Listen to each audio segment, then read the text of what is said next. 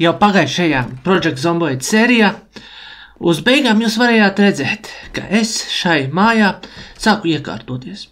Un e, šai sižetā es e, dzīvojoties pa māju, mazliet pastāstīšu jums, kādu iemeslu dēļ tieši šo māju es izvēlējos kā savu galveno bāzi.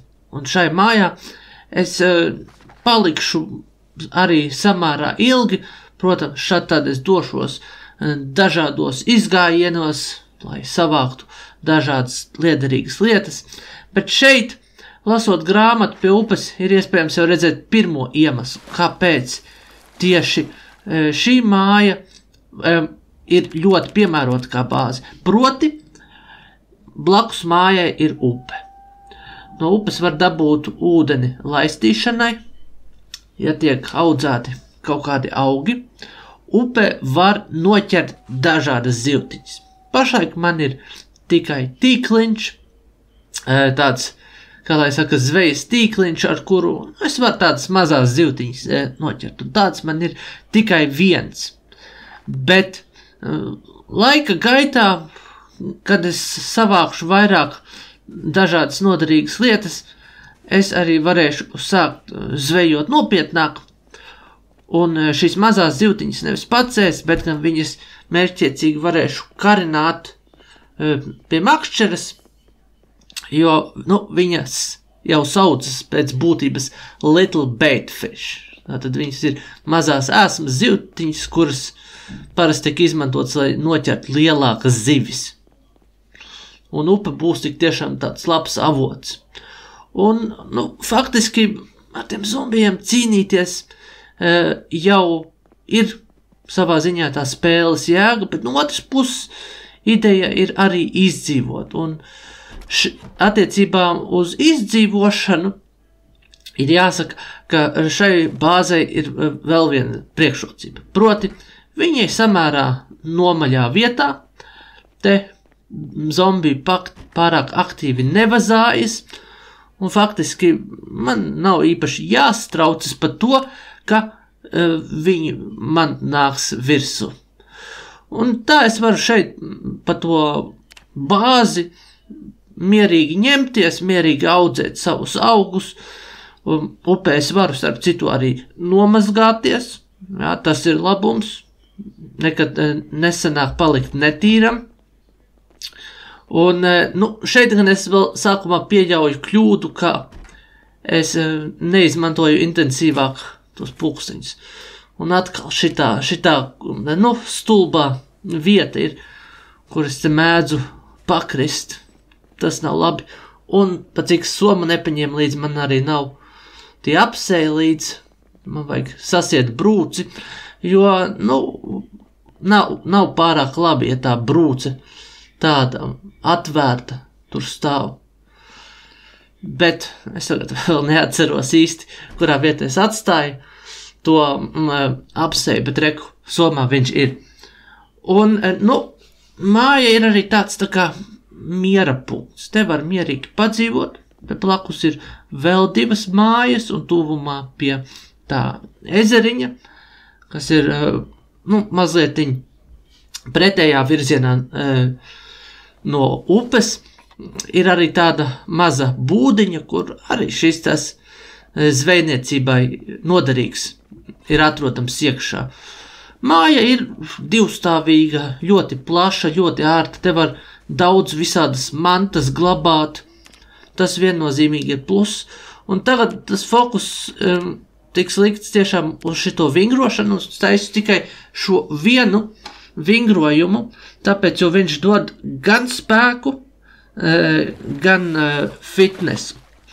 Un, e, nu, spēks ir tiešām vajadzīgs priekš tā, lai varētu stiprāk sist, bet arī, ja ir vairāk spēka, tad var vairāk mantas panest. Tagad man inventārā, piemēram, standartā ir 12, uh, pēc gada regulāri, protams, vingrojot, tad jau var sasniegt tādu spēka līmeni, kur var panest kaut kādus 15. Uh, nu, tās, tās uh, inventāra uh, svara vienības.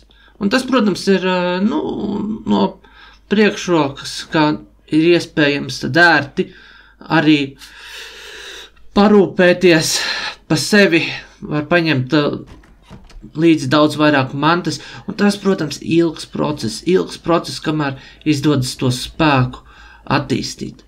Un lūk, šeit blakus ir arī vēl divas mājas. Šeit arī ir iespējams šo to iegūt, kas ir uh, samērā noderīgs. Ārē, kas bija vēl uh, malciņu atstājis, to ielikuši iekšā kamīnā, lai tās zivtiņas varētu izcept. Viņas nedrīkst ēst pa taisno. Ja tās mazās zivtiņas ēd pa taisno, tad uh, var nomirt. Un tā ir nu, tāda, tāda nopietna problēma, tāpēc nevajadzētu to darīt. Bet ārdot mēbeles jau šitais ten nekam citam nelietojamais koks ir iegūstams gana lielā daudzumā, un attiecīgi tā nav problēma. Un, nu, runājot varbūt par to politisko darbu, ir jāatzīst, ka tas tagad pēdējās divas nedēļas ir, stipri samazinājies, jo nu, man ir vienkārši daudz citu darbu dzīvē, man ir ar pamatdarbu jāņemās. Tur ir uh, gana liela aizņemtība, gana liela slodze, un nu, tāpēc nesenāk varbūt tik bieži tagad to visu taisīt, bet nu, vēlēšana kampaņa jau ir cauri, un uh, nu, tagad ir arī manuprāt, pilnīgi taisnīgi un pareizi mazliet atvilkt telpu, mazliet atpūsties, pievērsties citām lietām. Tur nav nekas nepareizs. Un, nu, šī spēle, protams, arī ir ļoti interesanta, un e, ik pa laikam viņa paliek labāka.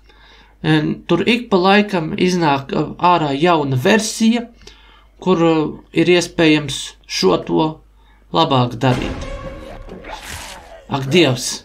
Tiešām, tiešām viņš ir niekoda, bet nē, nav nekāds bojājums. Tomēr, laikam, tās jakas absorbē.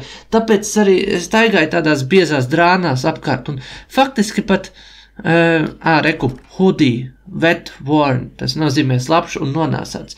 Nu, tur laikam to, to, to uh, kapuci, kapuča džemperīte man sakot. Tāpēc es arī cenšos nesēt tik daudz tās drānas, lai gadījumā, ja zombijs iekož, tad nu, ir iespējams izdzīvot, jo vienkārši tas apģērbs uzņem visu, visu, nu, kā lai saka, to sliktumu. Un tad bieži vien tas var būt uh, nu, nevis kaut kāds termināls kodiens, no kur tev garantēti beigās eh, nāk virsū tas uh, zombiju vīrus, bet gan tu vari uh, nu, izdzīvot, jo tev ir tikai kaut kāds neliels skrāpējums. Bet faktiski tur tāpēc arī vajag ņemties daudz ar šitām lupatām. No zombijiem vajag, kā lai saka, ņemt tās drēbes, saplēst viņas gabalos, uh, un no tā tad var dabūt diegu, un arī uh, ir iespējams tikt pie uh, nu, lupatiņām, un ar tām var tādus uh, ušuvītes taisīt apģērbam virsū, kas padara apģērbu vēl uh, stiprāku un labāku. Un šeit es faktiski pieļauju tādu vienu kļūdu, jā, ko es tagad jau uz beigām darīju labāk, proti, uh, man vajadzētu uh, nu, uh, izmantot divus pulksteņus elektriskos, un divos dažādos dienas laikos viņus iestālēt. Tātad vienreiz no rīta, vienreiz vakarā, lai es ietu pēc tā zivju tīkla. Jo savādāk, ja viņi tur atstāja pārāk ilgi, tad viņš saplīs. Viņu ik pa 15 stundām ir jāpārbauda. Savādāk viņš uh, sabojāsies. Un faktiski, ja es ietu kaut kur tālāk prom, uz vairākām dienām no šīs bāzes, tad es uh, katrā ziņā arī to tīkliņu izņemtu ārā, nevis atstātu. Uh, nu, iekšā ūdenī, jo savādāk viņš saplīsīs, un, un, un tam, tam man nebūs.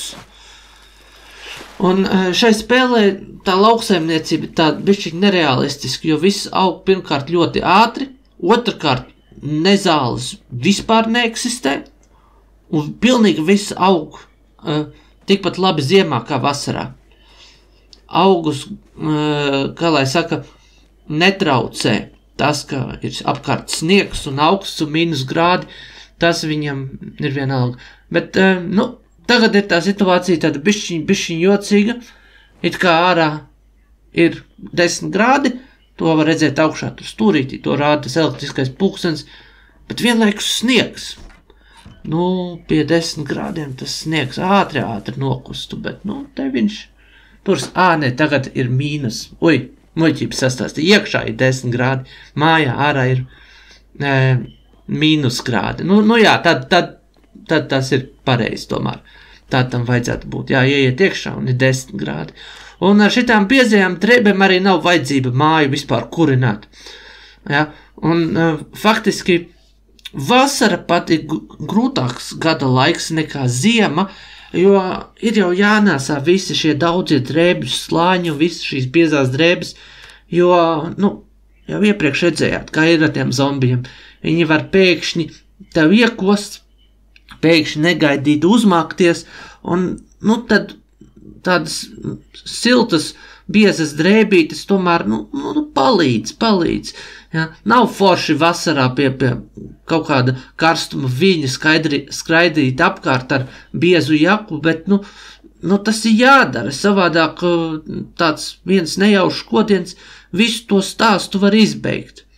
Un, nu, kā jūs redzat, šeit arī kaimiņa mājās tas galdiņš ir uh, ražīgi klāts, te var labi paēst, un nu, pārtikas krājumi tagad ir ļoti apjomīgi. Es viņus jau laikus nesu apakaļ uz savu galveno māju. Ir cilvēki, kuri uh, labprāt šeit veidojot bāzi, dzīvo pa visām trim mājām. Manuprāt, uh, man pietiek ar to vienu māju, un uh, otrajā stāvā tur es pat dažas istabas vispār neizmantošu. Šī viena māja, vismaz manā redzējumā, ir pilnīgi pietiekami liela. Faktiski bišķi, pat bišķiņ palielu. Ja, tur, piemēram, uz augšu ir vēl tāda tā kā ēdama istaba. To es faktiski nekad tā īsti nevaru lietot, jo, nu, viņš ēd, tas cilvēciņš vienkārši kaut kur, kur pagadās skraidot, viņam nav, nav tāda liela vērtība. Vai nu, nav arī nekāds labums no tā, ka viņš tā zolīdi apsēž pie galda. Tas viņu tā pārāk neinteresē. Un šai mājai ir viens labums, proti, kamīns. Un, nu, ka nav elektrība, jo ir zombiju apakalipse, tad, protams, protams, protams, ir ļoti labi, ka ir kamīns, ka ir iespējams ērti atrodoties mājās. Um, iekurt kamīniņu, izcept kādu pārtiku, šai gadījumā tās būs zivtiņas, un arī ar dzeramo ūdeni nav problēmas, jo upes ūdeni, protams, taisno nevar ņemt un dzert, bet pietiek pilnīgi, ka, nu, paņem uh, no upes ūdeni, ieliek viņu tur kamīnā, un tad viņš uzvāras, un tad viņu var bez problēmām uzturā izmantot. Un, un kad uh, kamīnā uh, karsts ūdens ir, tad ir iespējams arī um, tīras lupatas dezinficēt. Un, nu, dezinficētas mm, lupatas, ja, ja papsei, ir vienkārši labāk, jo tad neveidojās tās infekcijas, un nu, viss sadzīst ātrāk. Un, nu, jā, dzīve mājās sastāv no tā, ka tiek daudz lasītas grāmatas, tiek daudz vingrots. Tā, nu, reiz šai mājā ir. Un viens tāds liels pluss, kāpēc tieši šī bāze ir laba, ir tāds, ka tuvumā ir e, daudzas lauku mājas. Ja, un faktiski viņas var sasniegt uh, samērā viegli. À, lūk, te es mazliet sprintiņu arī nodarbojos. Sprintēt var nospiežot Alt 4 bet, nu, to darot arī eh, sanāk ātri sagurt. Un pagaidām man nav mašīna, tā kā, nu, atliek vien, e, nu, pagaidām vēl visur, visur skraidīt un visur iet. Paldies, ka skatījāties!